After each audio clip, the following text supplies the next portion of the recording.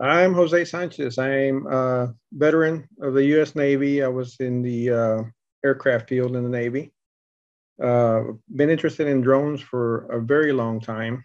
I happen to be a single parent. I have a 15 year old that's interested in photography and arts, and an 11 year old that's interested in technology. So, to me, with the background of myself, the interest of my kids, this seemed like a perfect business for me to get involved with.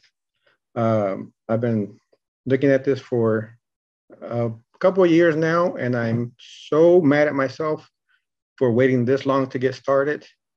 But these past three days have convinced me that don't hold back, just move forward and get involved. This seems to me to be the perfect company to get involved with.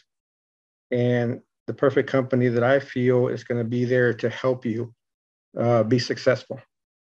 So, so anybody that's on the fence like I was, don't stay on the fence as long as I did. And if if you're thinking about it, thinking about doing this, stop thinking and start doing. So that's what I did this weekend, and I'm going forward. And wish me luck.